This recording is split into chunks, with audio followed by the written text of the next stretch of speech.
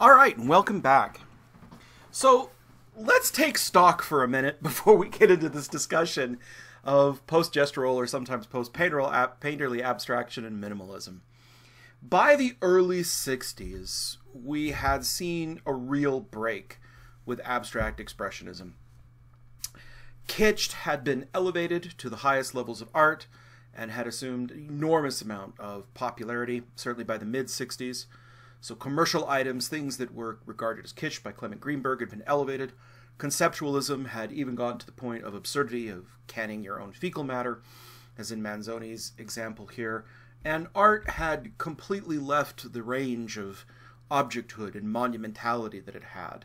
Performance uh, was blowing up on the scene and was quickly going to expand beyond that.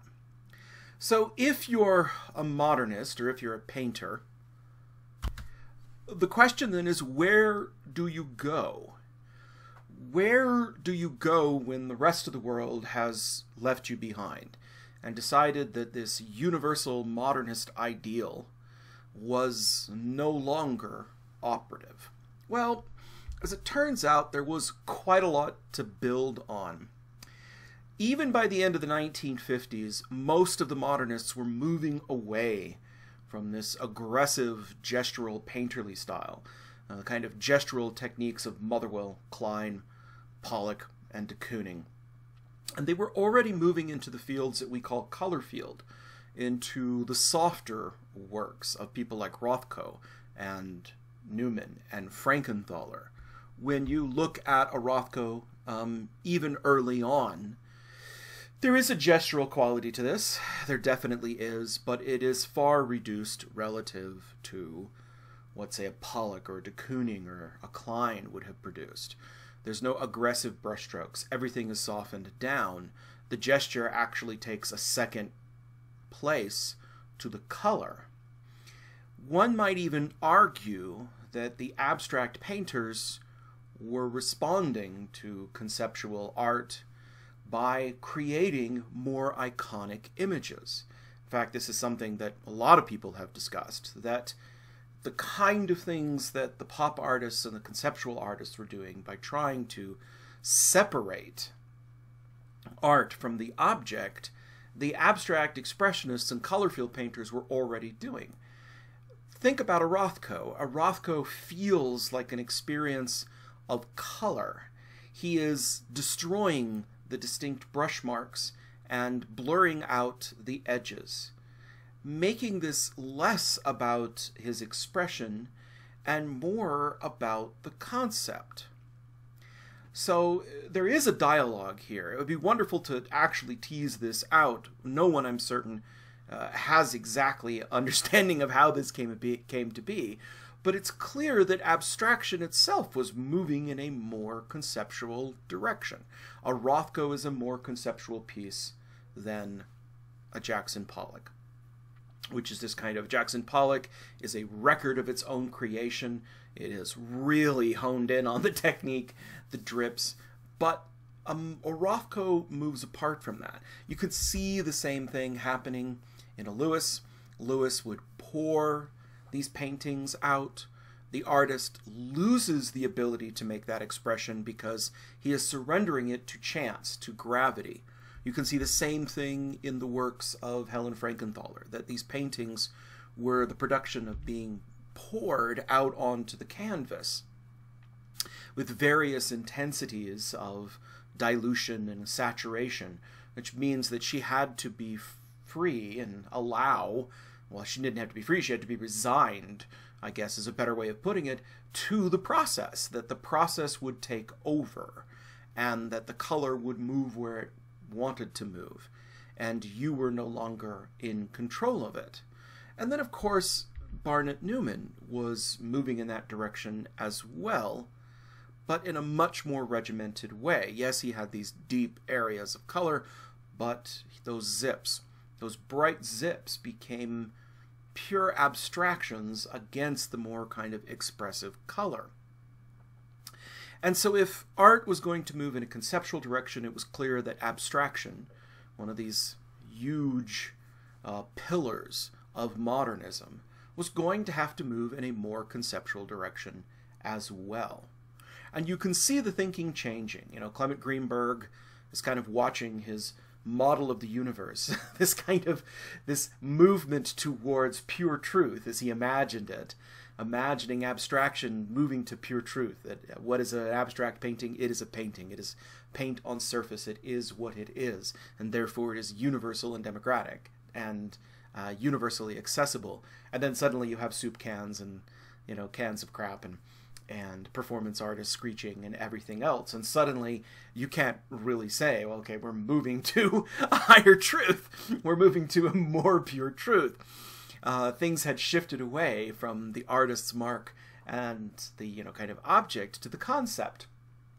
So in a way, post-painterly abstraction is a kind of response to that. It is the creation of artwork that is intentionally more impersonal and anonymous, at least in a way, that is more linear and geometric. And it takes the expression out of it. And if it takes the expression out of it, then these become, they still retain, they're still abstract, they're still objects, they retain, they're still pretty monumental in size, they retain all those features of modernism, but they lose that pure expression. And, and again, I really can't think of any other way to explain this than this is an attempt of abstraction to justify itself in conceptual terms. If the conceptual artists are attacking modernism and saying modernism is decadent and it's just repetitive and it isn't going anywhere, it's the concept that makes the thing. And you have people like Joseph Kosuth putting up his pure conceptual pieces, then it forces abstract painters to say, okay, what is the concept concept behind abstraction? And of a necessity, they're going to move to something that is less expressive, something that is that takes the painter out of the equation. If the painter is the part that is the part of the equation and people want conceptual art, then we will give them pure abstraction and you can't get any more conceptual than that. And I think that's right. If you remember going all the way back to Kazimir Malevich and his Black Square, he made the argument that the Black Square is the only realist painting because it's real. What is it? It's a black square. Whereas, you know, naturalism or expression or anything else is some kind of illusion, some kind of layering on top of that that is completely unneeded. That's why he wanted to get back to his zeroth degree. So I think that's why they go in this direction. And they have a, you know, an obvious champion in this, and that's going to be Clement Greenberg himself. So Clement Greenberg trying to basically say that, you know, hey, this this is the direction we're going to go. We kind of had this exuberant moment of abstraction. Now we're going to have a more refined conceptual abstraction.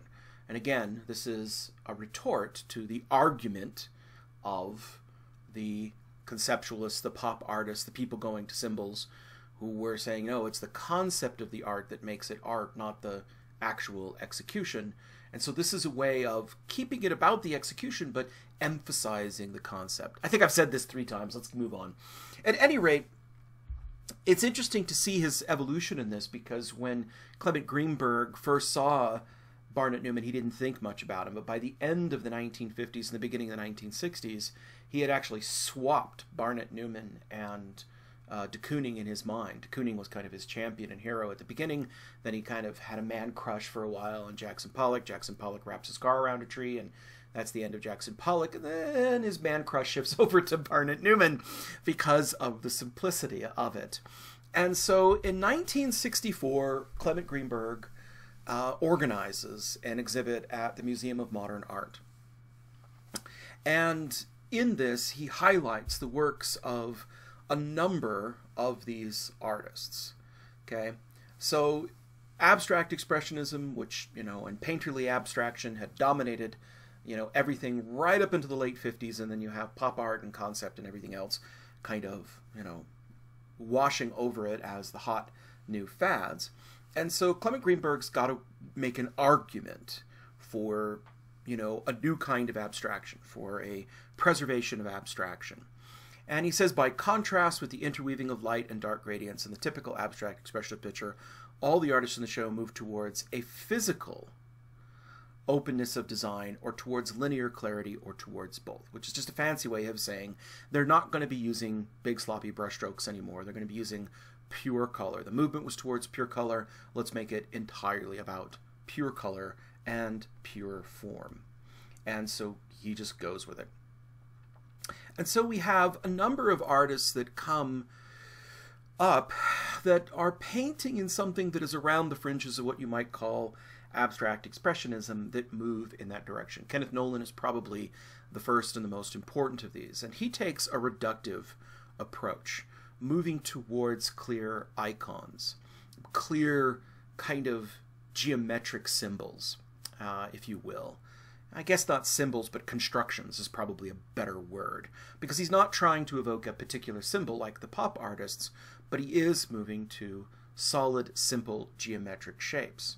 He said, I think of painting without subject matter as music without words. And that was his goal, was just simply to create it. And so when you see the kind of things he's painting in the late 50s, they have a series of concentric circles, and you can see that there's a lot more concentration on design and form and composition than in the abstract expressionist. But notice all those sloppy brushstrokes. We're still not free from pure, you know, kind of painterly expression. But increasingly, his targets get tighter and tighter until oh, there's only a little brushstrokes on the side. And then he moves into pure concentric circles, or shapes like targets. Now remember, who else had gone to targets by this time? Jasper Johns, that's right.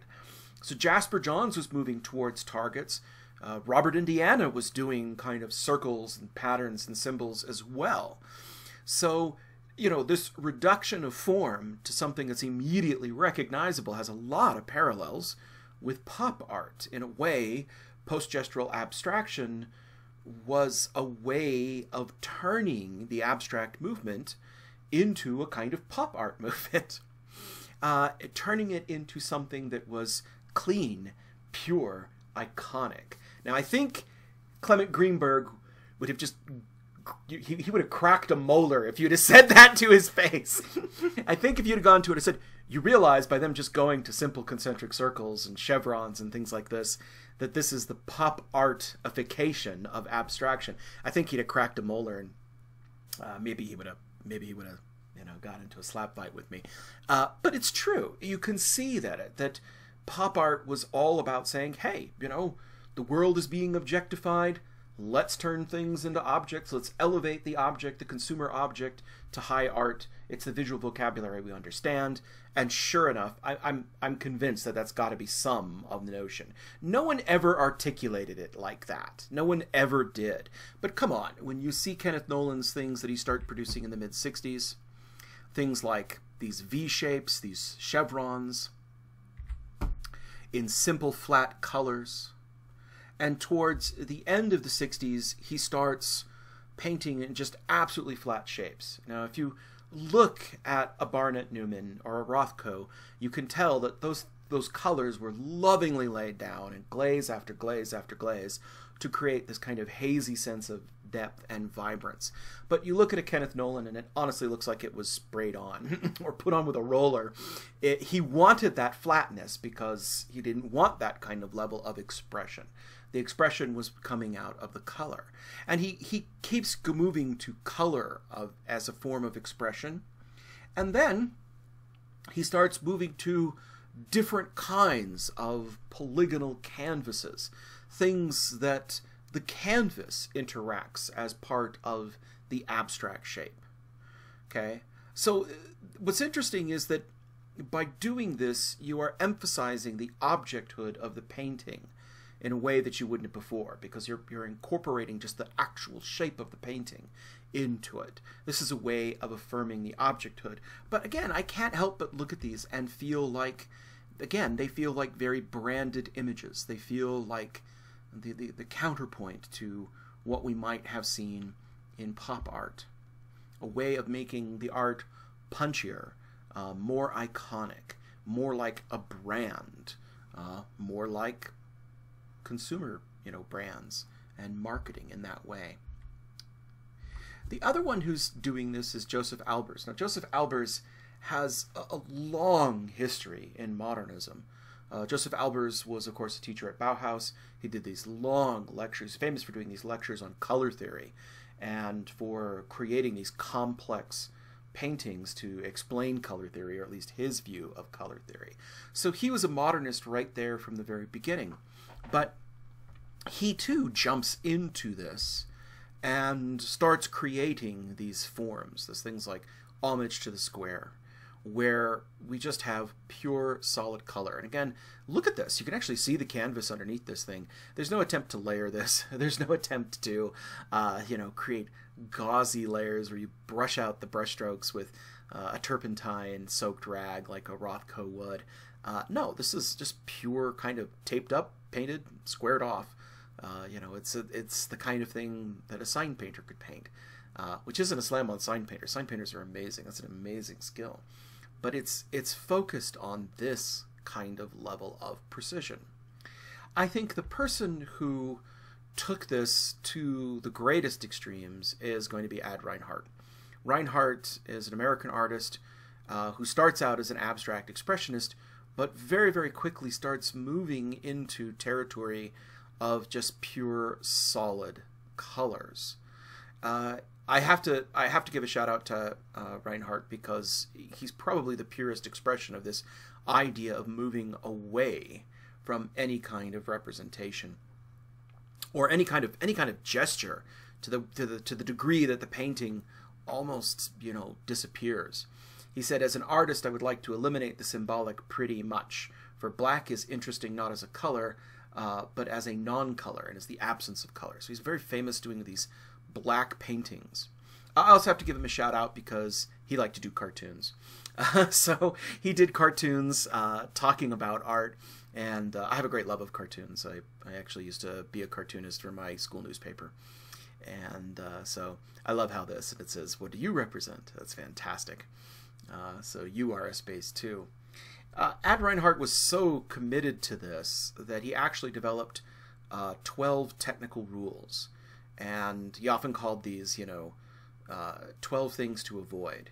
And the first was no texture. That is, that the painting shouldn't have any texture. Impasto, light, gauzy. It, it should uh, no palette knifing, no canvas stabbing, no paint scumbling, none of those things. Uh, there's no accidents, no automatism, nothing. Uh, there's no brushwork or calligraphy is number two.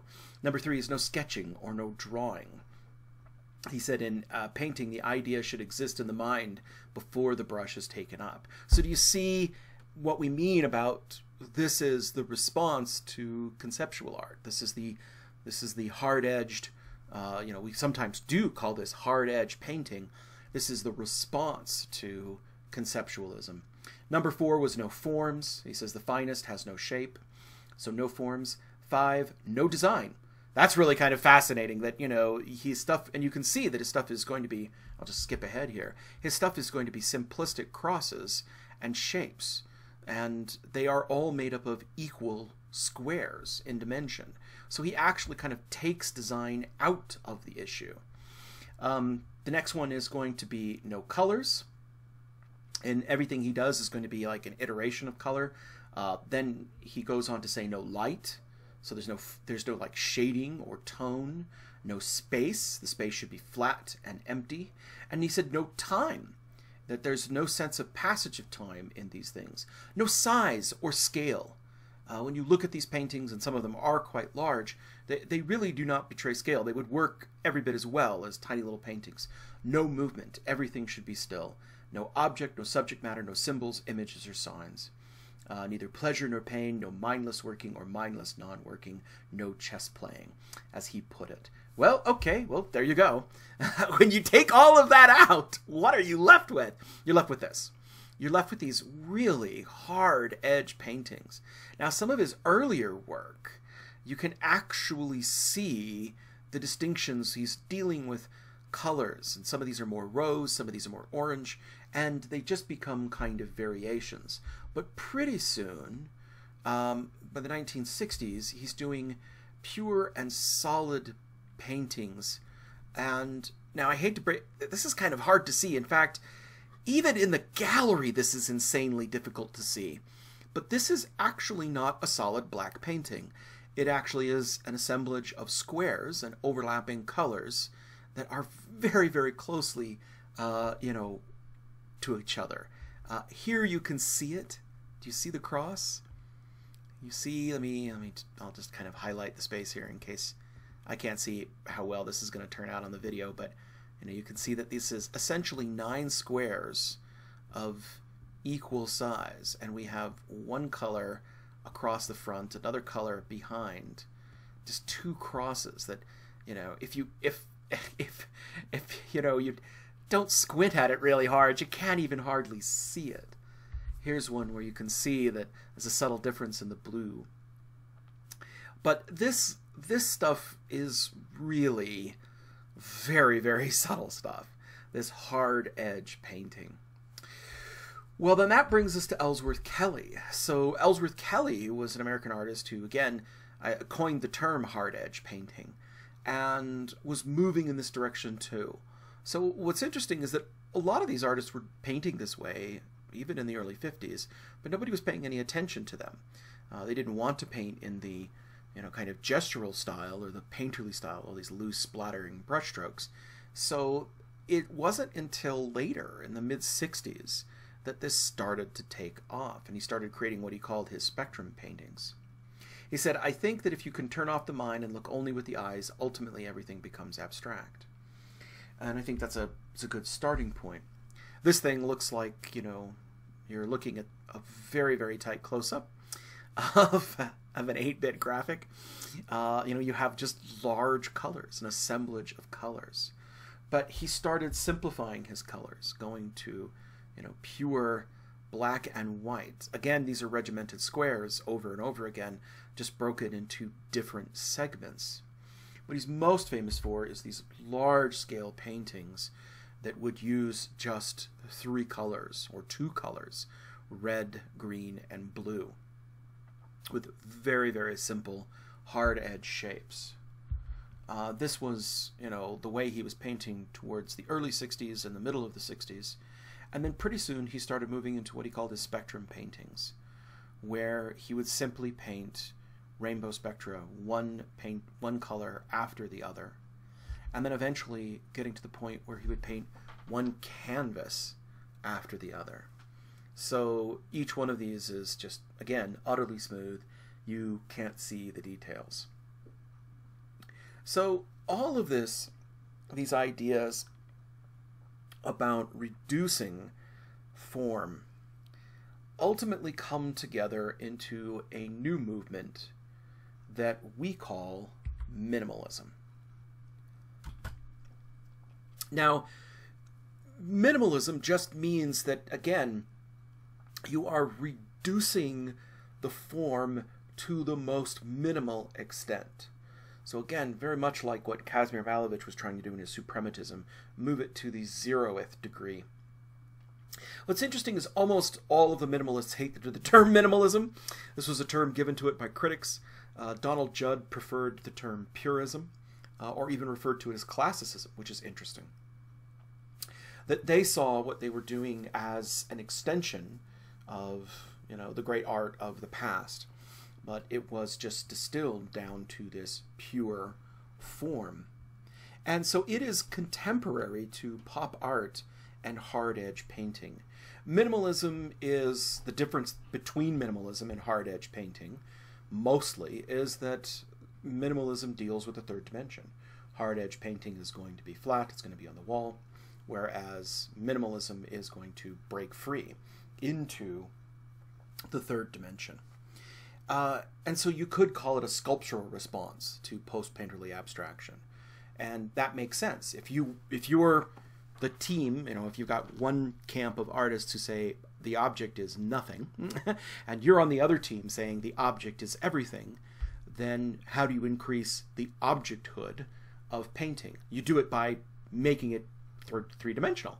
You know, a two dimensional surface can only have so much objecthood. But if you make it a three-dimensional space that comes into people's space, then that increases the objecthood. The other thing that they do is they increase the scale, make it sculptural, but then they also use industrial materials, many of these artists will use hard edge industrial materials to create aluminum or glass boxes, things that really are impossible to get around, and their hardness again reinforces their objecthood. And they see this, you know. And what's interesting is it's a kind of purist form. Uh, my term for this is to call it high church modernism. So, okay, now we're going to go into theology for a second. Sorry, my, I was I was originally a medievalist. I have to I have to go to my first love. Uh, but in churches, in church practice, you have high churches and low churches, and that isn't supposed to be like a slam or anything. Uh, it's just a technical term, and the technical term is used to describe what is the focus of the church. If the church is focused on formalism, that is, the rites and the ordinances, the performances of the Mass and the liturgy, things like the Catholic Church or the Anglican Church or the Orthodox Church, then that's a high church. That's where it is the ordinance, it's the liturgy, it's the form that matters. But low churches are churches that focus on the spoken word, uh, where, you know, and you can see this in architecture. You can see that Protestant churches, the pulpit is at the center of the church, whereas in a Catholic or an Orthodox church, the altar is at the center of the church because the rite is what matters and the pulpit is off to the side. Okay?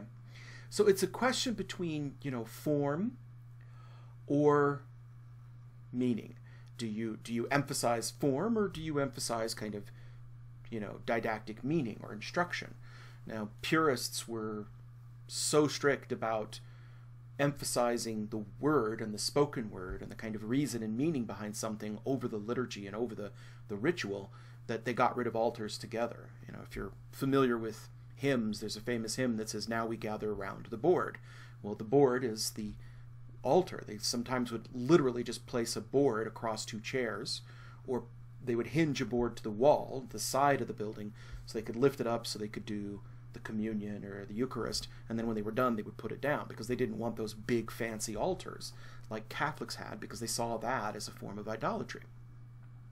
So you have low churches and high churches. Interesting question for our our uh, our majority religion in the here in the Utah Valley. Uh, the Church of Jesus Christ of Latter day Saints, commonly known as Mormons, is it a high church or is it a low church? Debate amongst yourselves. Sorry, I had to interject that.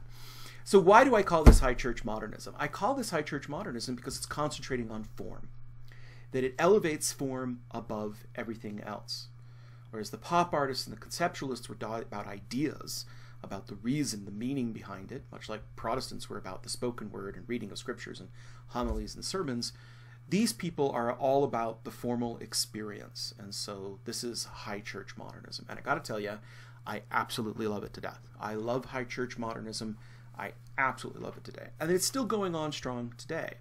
I titled this section in the syllabus, I call it Survivals and Echoes, because modernism kind of comes to an end somewhere in the 60s or 70s. It's hard to know where contemporary begins and modernism ends.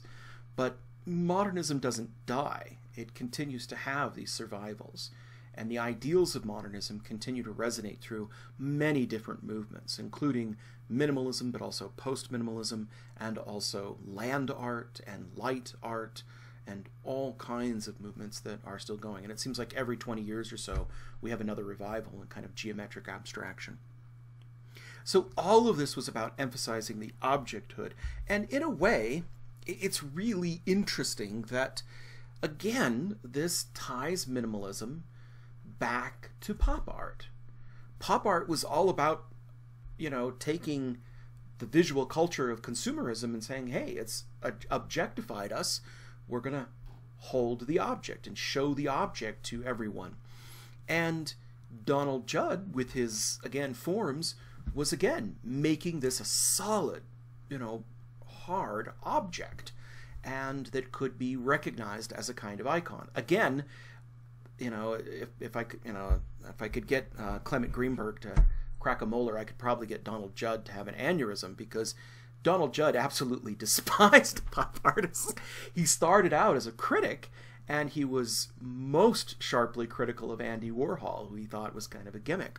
And it was pop art that convinced Donald Judd to give up art criticism and go into art and become one of the premier minimalists of the time. But, you know, when you look at his manufactured boxes, they're very similar in spirit and tone to the manufactured processes of pop art. So there is a response. Minimalism is the kind of conceptualization. It's like, okay, if conceptualism is the, the rule of the day, we're going to defend it. But we're going to defend it and we're going to defend objecthood and craftsmanship. So if pop art and concept was about, you know, getting rid of those things and debasing craftsmanship and those things, we are going to bring it back and uh, create it. But it's not an accident that you know both Donald Judd and and uh, Andy Warhol loved the repetition of forms for that reason. So the first person that we could probably um, talk about as a minimalist is going to be Frank Stella. So Frank Stella was famous for these monochrome paintings, and he said that you know, a painting is a flat surface with paint on it. That's a, a, pure expression of of uh, Clement Greenberg's ideal could not be stated. And what you see is what you see, you know, and it is what it is. Now he he called these, you know, monochrome paintings. But what's interesting about his monochrome paintings is that his monochrome paintings again were a response to the object and the canvas. He wouldn't, you know, arbitrarily decide where to put the bends in his lines. What he would do is he would paint to where the supports of the canvas already were. So, I mean, they, where they already were. So, why did he put this angle in the corner? Well, because that is where the frame was, and he just arbitrarily painted that and then just continued to fill in the space.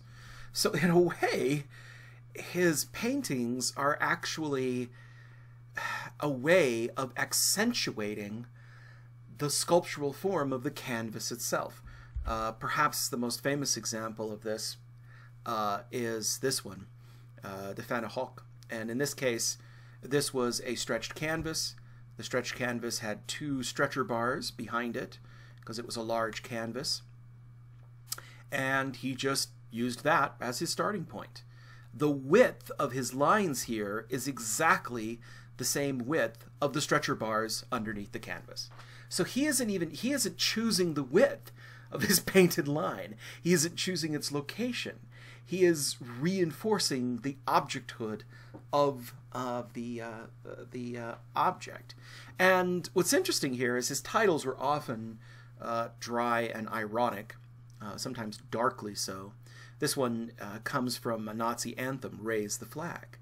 Well, of course, it's a cross, and the Nazi flag did include, you know, this kind of swastika or cross. But what he's doing here is he's creating a kind of arbitrary cross to create a flag. He's emphasizing the objecthood. Again, you know, dealing with the irony of it here. And sometimes, just to prove that he could, he would do the same thing, but do it at a diagonal. Again, why is this bend here because that's where the stretcher bars are behind the canvas and the width here is exactly the same width as the stretcher bars.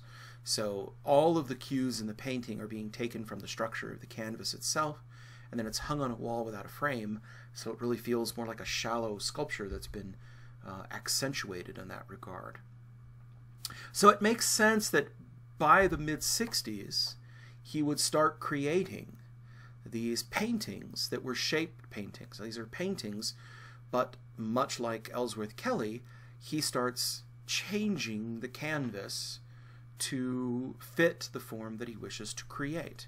So he takes the same chevron shape here and essentially does the same chevron shape repeated four times, repeated over at different angles. Again, this takes the artist out of the equation uh, the line here is again the exact same width of the stretchers behind. And so when it's amassed on the wall, it really does have this kind of object to it. It feels more like a kind of sculpture, like a low wall sculpture. He would do this, you know, many times, making these kind of shaped canvases that really can't be understood unless you, you kind of, you know, uh, take a look at them in in person and see them at scale.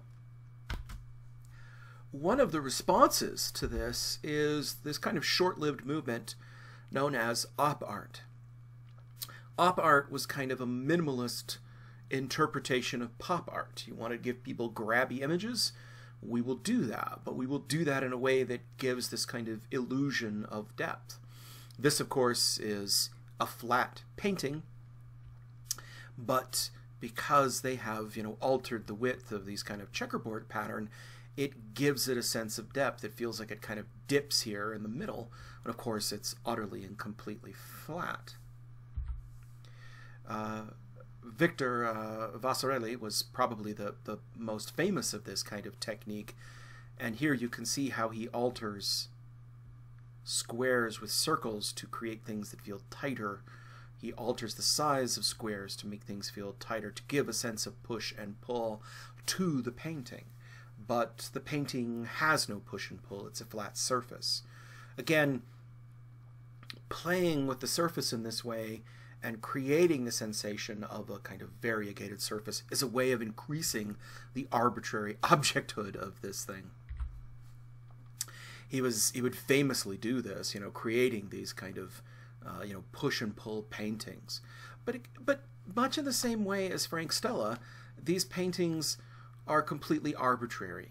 There is no you know kind of choice being made here. He's using well, there are choices, but he's using squares, and once you decide to alter this, it create this kind of sensation or this surface. Uh, that is the kind of pure expression of it. Op art kind of dies out by the mid 60s, but minimalism continues on. Uh, one of the most important, I think, is Anne Truitt. And Anne Truitt is another one of these artists that I personally got to meet. Anne Truitt uh, was donated donated her uh, collected records and papers to Bryn Mawr College, and I was working at Bryn Mawr College at the time in the Visual Resource Department in the Rhys Carpenter Library. Uh, if you go there today, uh, don't bother looking for it because visual resources is dead. It's a dead profession. No one does slides anymore. Uh, but we have this beautiful glass window that looked over the, the Rhys Carpenter Library, and uh, I got the privilege of making up a website to uh, to go along with this event, this small little show of her papers that were being donated to the archives. So I got to meet her, and uh, lovely woman, and uh, and that was really my first introduction to her, and and she really is an unsung hero. She was doing this at a time when you know not even Donald Judd was making this, so she really is one of the first uh, sculptors uh, and minimalist sculptors. But what's interesting is she doesn't really think of these as she described these as you know I make the sculptures so that I can have 3D paintings. I can have paintings in a th- three third dimension, which I think you'll you get when you take a look at it. She would build these large plinths, and they're generally made out of plywood or varieties of wood, and then they would have very kind of minimal treatment to the surfaces but then she would paint them in colors. So here we have Insurrection. Look at the date, 1962. This is long before Donald Judd, you know, got into the game. Donald Judd was still fuming at uh, Andy Warhol at this point. And you can see how pushing this into the third dimension gives these colors a form. And again, you know, to use her terms, she, she described these as not sculptures, but painting in the third dimension. I love her plinths, these tall rectangular pieces, where she would create bands of color. Again, no painterly surfaces, they're utterly flat, uh, kind of flat color, so that the color and the change of the color, the subtle change of the color, would only really come as you saw it in, in in a third dimension. What I love is that this blue almost looks like it sticks out farther than the green and the pink, but it's not. It's a perfectly flat, flat, flat surface. I also like how she made these plinths uh, have a smaller base so that they do seem to float rather than to kind of rest directly on the ground. And then she would do a, series of these, uh, sometimes in the same room, interacting with each other, and sometimes with vertical stripes. So it's Donald Judd, though, that really comes to define minimalism. I mean, he's the one that people think of minimalism. Again, from 1959 through 1965, he was uh, an art critic and wrote rather scathingly about uh, the pop artist, particularly Andy Warhol. And I think that you know about the time Andy Warhol was giving up on art and going to the factory and doing all his crazy, uh, you know, films and acting as the manager for uh, the Velvet Underground and a bunch of other things, he decided he had to get into the game. And he described all paintings as spatial. That is, that whether you like it or not, ultimately, this, this idea of you know making something two dimensional doesn't work. That there is a spatial component to a painting. And so he was influenced strongly by Stella's shaped paintings and started creating boxes. The first boxes he created, uh, he started doing himself. But he quickly found that he really didn't have uh, the skill to make these things as solid or as uh, industrial as he wanted them to be. So most of his works he then just described, he designed, and then he gave them over to engineers and manufacturers to fabricate. And that's a common practice to this day, that an artist will design a piece, but actually hand the fabrication of the piece over to professional welders, sheet metal workers, etc. And so he started making these things, uh, these blocks, these cubes, and he set them directly on the floor in the middle of the gallery. They weren't pushed up against the wall. And this forced people to walk around them. Again, what's interesting is there's some a quality of minimalism is that it basically forces you to interact with the object. And this heightens the objecthood. Someone once described Donald Judd's pieces not as sculptures, but as as um, theater sets, which I think is an excellent way of describing it. That it creates a setting like a theater or a play, and you are the player, and you have to walk around the set and interact with it. And so these big, large cubes of, you know, unforgiving metal. Uh, I do know a story of somebody who tripped and landed into one and hurted themselves. They actually bled on a Donald Judd. Isn't that cool? Art nerds were the weirdest kind of nerds. I bled on a Donald Judd. It was so awesome. Anyhow, not my story, by the way. That was someone who told me that story. They they tripped and fell on a Donald Judd. So those edges are sharp, man. That's that's how much he wanted to emphasize the objecthood of these things. That they were engineered to such tolerances that they were actually sharp. Uh, so watch yourself. Uh, don't don't trip and fall. So he would use these, uh, you know, highly industrialized, polished surfaces. Uh, brass, bronze, aluminum, plexiglass. Oh, I forgot to mention, I was going to say that uh, there was a, an aerospace firm in Massachusetts. Uh, you don't think of Massachusetts being an aerospace place. You think of places like, uh, you know, uh, Florida and and, uh, and California, where they, you know, built, or maybe you know, Seattle, where Boeing is. But there was an aerospace firm in Massachusetts in the 1960s, and it wasn't Donald Judd, but it was another one of these artists, and he couldn't build these things to the in high engineering tolerances that he wanted. So he outsourced it to this engineering firm. And the engineering firm was like, you know, we build modern jets, people. You know, we don't build, you know, art, you know, and it's just crazy boxes, you know, crazy kids. But they took the job and they did such a good job that they developed a reputation for it and then more artists started coming to the same engineering firm. So because that happened, they realized, well, wait a minute, maybe there's money here. we, you know, we all got engineering degrees, so we could join NASA and send uh, astronauts to the moon. But uh, our career ended up being making uh, sharp, really sharp aerodynamic uh, tolerances for uh, you know these crazy artists. And so there's now quite a few firms that are engineering firms that uh, engineer and design these things, and they they do man they are incredible. Uh, you know you would think they were aerospace engineering that now are, are have converted completely to creating artwork that that make large scale installations. So kind of crazy. So interesting little thing where you know the economics of art kind of impacted engineering. You too could be an engineer on a, on a famous artist's work. So when we look at it, he often, again, took the same scale of shape. Again, I love this one. You have an aluminum tube that goes through, and then it's surrounded by uh, tinted amber plexiglass. giving you the sense of the shape, but also giving you the sense of the interior shape. And then he starts multiplying these shapes. Sometimes, uh, again, laying them on the floor, but also putting them against the wall.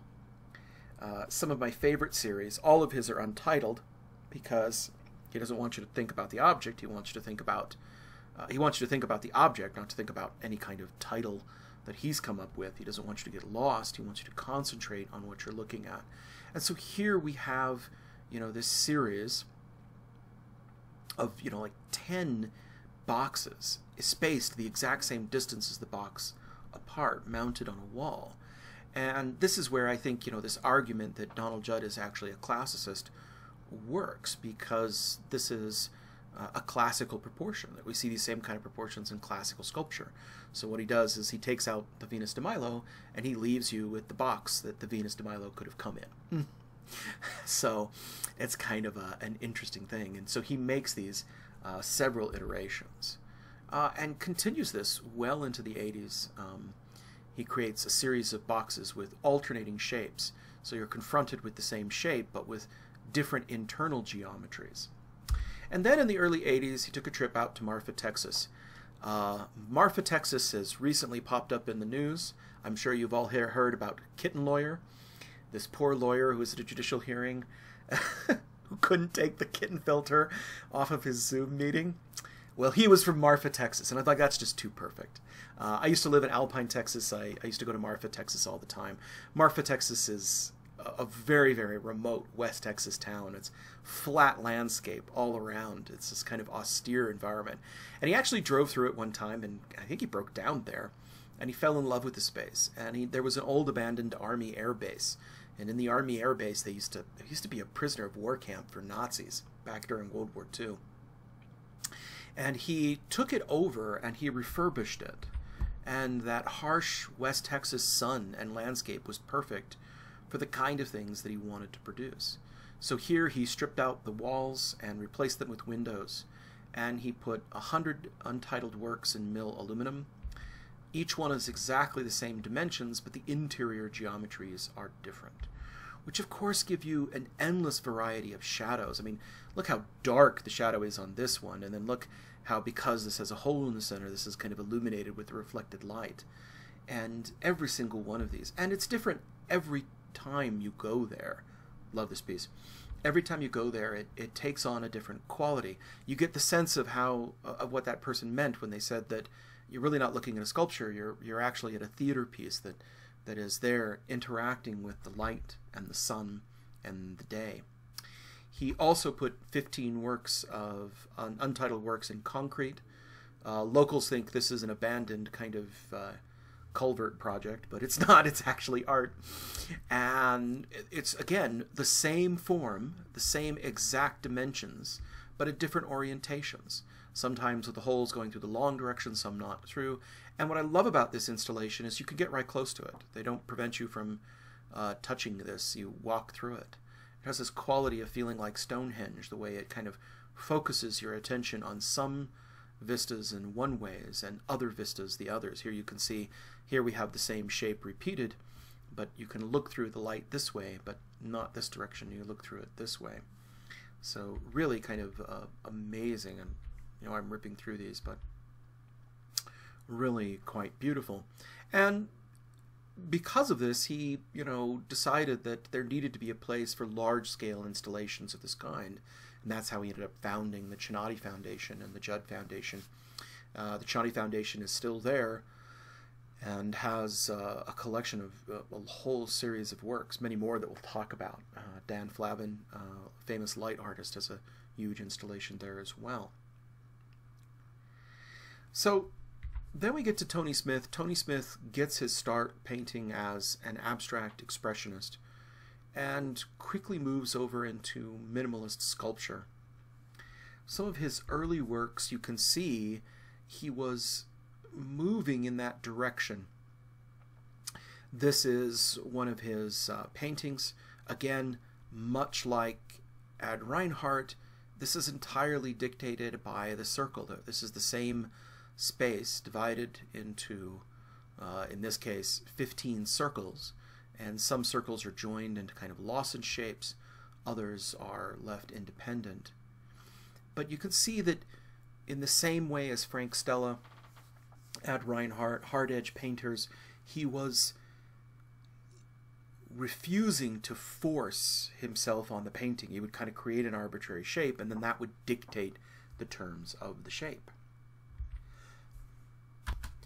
And it's in this context that he started creating his first sculptures.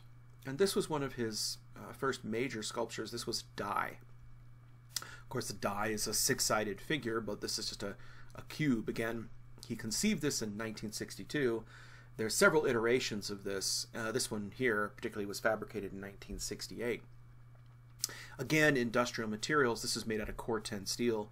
Corten steel is a steel that naturally rusts, this kind of ruddy brown, rust orange kind of color, and then this develops a protective patina, so this stuff will just last for eons. It, it doesn't rust and decay away like most iron will. It will actually hold on for a long time. And he really felt that it should be made on a human scale, you know, that again, it frames the space. You know, too big to be an object, too small to be a work of architecture. You know, he called these forms and presences rather than sculptures.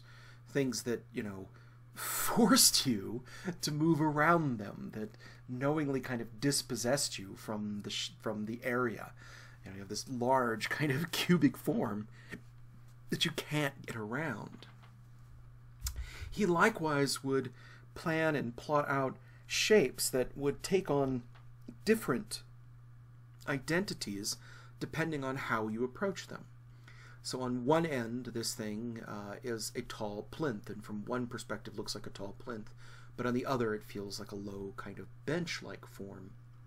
One of my favorite examples of this is Amaryllis. Amaryllis is just kind of a magical object to me.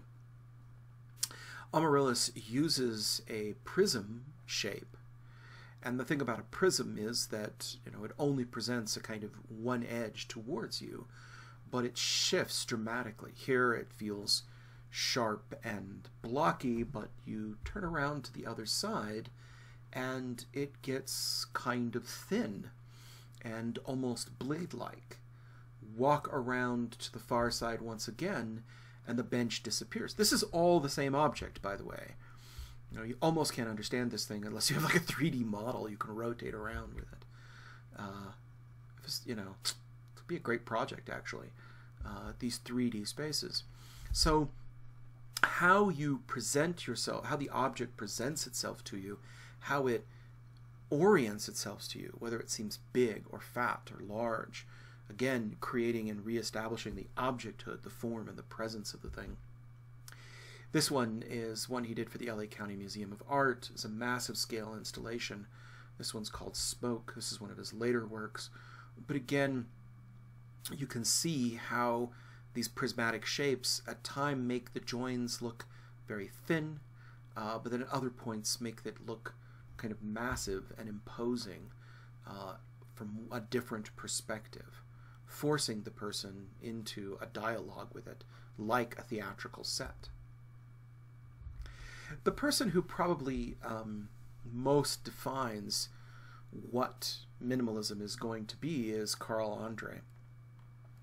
So Carl Andre started with these industrial materials. Again, he was probably the most reductionist of these, inspired by Frank Stella, uh, worked with Frank Stella, and would take standard sizes of lumber, so nominal sizes of lumber right from the hardware store, things that he didn't have to cut or craft in any way, and then started stacking them up.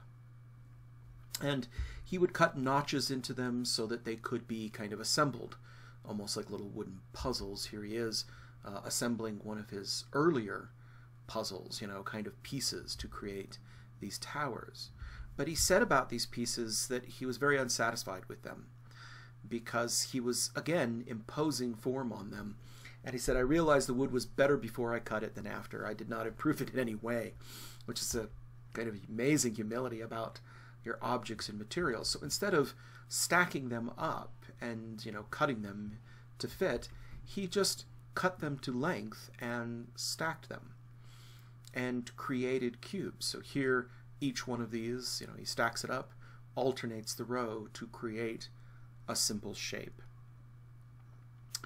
And this was really, again, really out there for people at the time.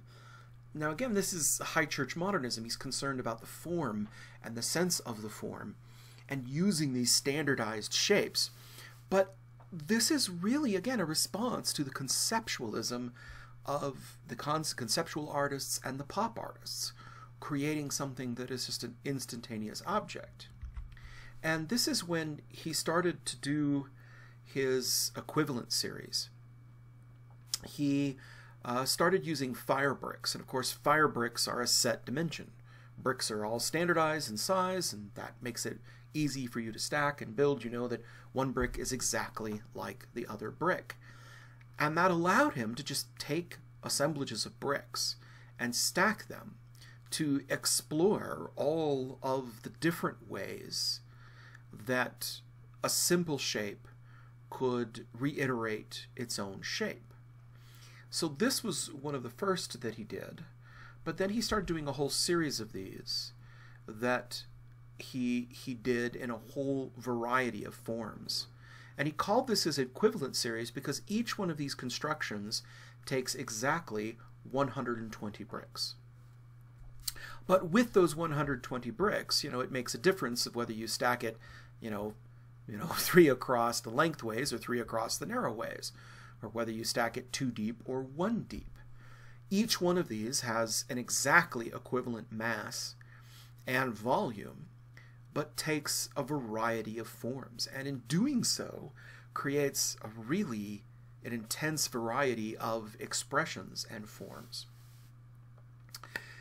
This also caused one of the greatest art scandals of the 20th century when one of these, uh, equivalent number 8, which I think is this one right here, was bought uh, by the Tate.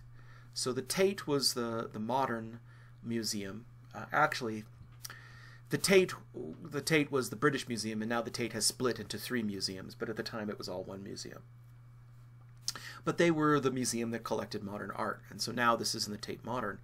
And so they purchased this in 1972.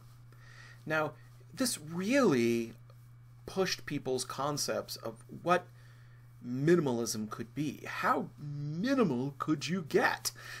I mean, this isn't even something, you know, I mean, Donald Judd's, yeah, people could wrap their heads around that because those actually had to be made. They had to be designed. They had to be made. But in the same way that Frank Stella was letting the space of the, the distance of the stretchers determine the form of the painting, he just said, well, why bother? Why bother with even going that far? We'll let the brick determine the form. And so really it's a stack and a pile of, of fire bricks and nothing else. And so when this was purchased by the, purchased by the Tate in 1972, oh my gosh, uh, the British um, press just ripped it, uh, you know, and thought it was just absolutely, uh, you know, uh, a mockery. And so again, this ability to create scandalous, is it art or is that absurd? The same kind of things that the crazy uh, you know, performance artists were doing, the crazy pop artists were doing, the minimalists, these high church modernists who were still committed to this abstract expression, they got there too. So you really can't say that there isn't this dialogue between the two, because there very much is. He would uh, continue to go on and play with this idea of kind of standardized shapes. These are steel and magnesium plates. Uh, one of the things that's really fun about a lot of Carl Andre's works is that while most artworks, uh, you know, they're behind a velvet rope and you're not supposed to walk on them, uh, you are supposed to walk on these, and you're encouraged to walk on them. Uh, and they are supposed to be something you are in, supposed to interact with, and you're supposed to be something that you stand on because again they frame the space. They have this theatrical component about it. They frame the space and you walking and standing in them uh, is part of it. When we get to the post minimalists and process artists like Richard Serra, you're going to see much the same thing. And Carl Andre is, you know, kind of still around uh, today. Or at least he was last I checked. This last year is we've lost a lot of artists. I always should check every few months. Um, I'm living here in my basement, like a, like a, you know, I couldn't be any more in the dark if I was a mushroom in a mushroom farm. But here we are. oh boy. This breakdown, this nervous breakdown, was brought to you by uh, the pandemic. Moving on. And so he's still active. And he takes, again, the simplest things, but I, I like a lot of his pieces because it allows you to see the natural beauty in the object. This is his copper galaxy. Now, this is just copper flashing. So, you know, if you have a fancy copper roof, you have copper flashing, and these are bound up into tight bowls. This is an industrial object you could buy at a copper or roof supplier, and he just let it unspool naturally on the floor. To, of course, copper is this beautiful color to create all these luminous surfaces and reflected surfaces. Uh, let me tell you, it's really hard if you're a curator in a museum to curate a lot of these pieces because holy crap i mean you know i mean when you move this it's not going to be the same you know i mean you, you, you can stack the bricks up pretty much identical but when you move some of these things by they're going to change they're never going to be the same they're going to have a certain kind of quality and you know the best you can hope for is to get something at a gesture which gets us back to the abstract expressionists that there is a kind of gestural quality to this because in the reflections, I mean, how many different ways can you slightly unspool copper? Oh well. So let's let's talk about Sol LeWitt. Sol LeWitt is again an American artist, and he was very interested in sculpture and process art. And he again really demonstrates this link between minimalism and conceptual art.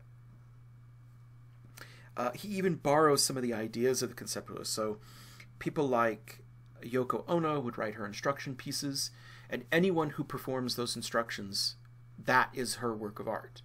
Uh, likewise, Joseph Kosuth would write out things in his notebook but never make them, and any of those were kind of a creation of his work of art. So conceivably, you could have thousands of iterations of Joseph Kosuth's one and three chairs, thousands of iterations of Yoko Ono's instruction pieces. And his stuff was very much the same.